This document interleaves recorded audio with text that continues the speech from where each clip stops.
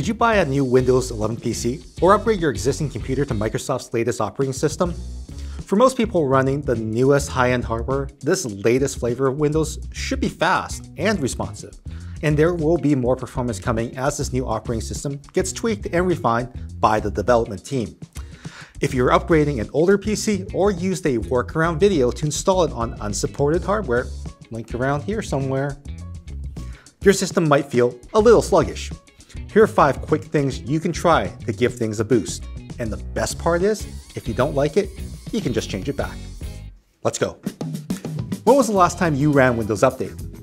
The number one thing you can do to increase performance of any Windows 11 machine is to keep it updated. Hit the Windows key, type check for updates, and hit enter. Click the big button to check for updates.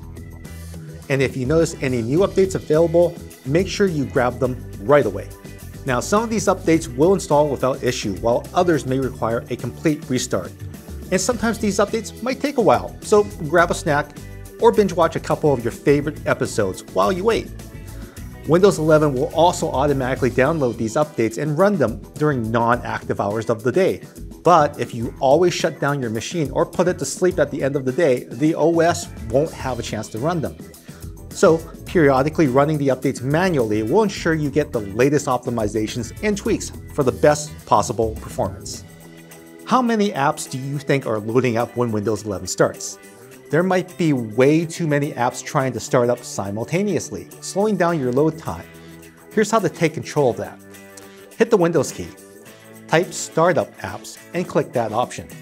In here, you'll see all the apps that are all trying to start up simultaneously. You can sort them by their impact to show you the worst offenders. Go down the list and start switching things off.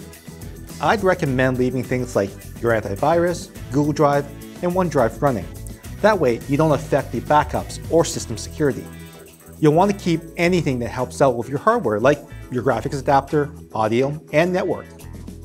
I use Grammarly all the time, so I will keep that running too. You might not even notice that something is turned off in most cases other than Windows is loading faster. If something needs to start, you might see an error pop up referencing it. Just use the steps above to locate it and turn that back on. Animations and transparent menus can look great, but at what cost to system performance? Windows 11 takes advantage of a lot of these things to give this OS its signature look. But if you don't think you'll miss them, here's how to turn them off for a snappier interface.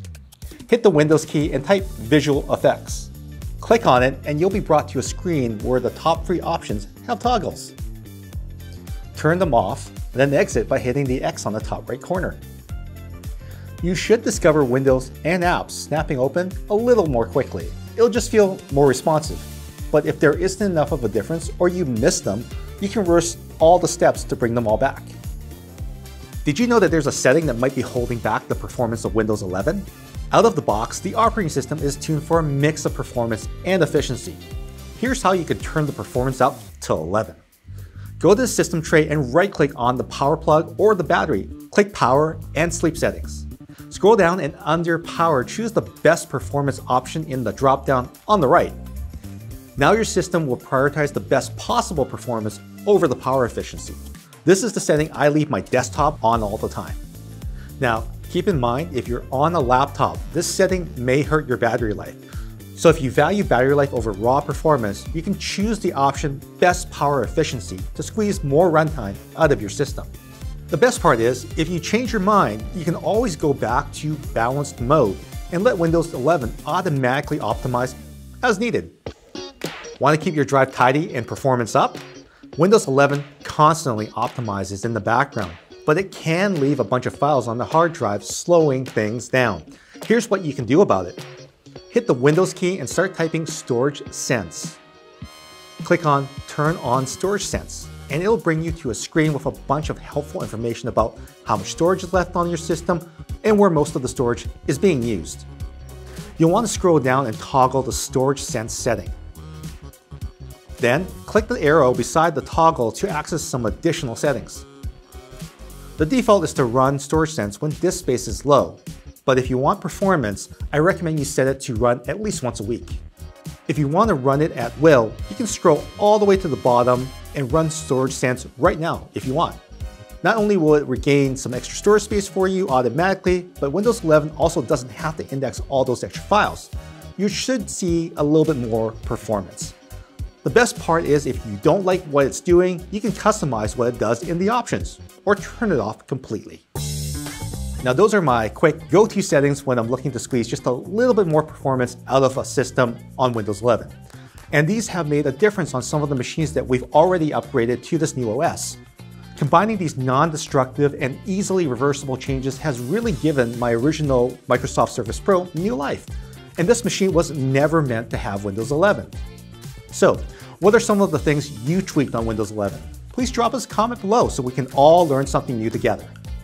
And you really make my day when you check out our videos. If you aren't a part of our notification squad yet, make sure you hit that subscribe button and the bell so we can meet again. And while you're waiting for that next video, I think you might like this video. And this one's pretty good too.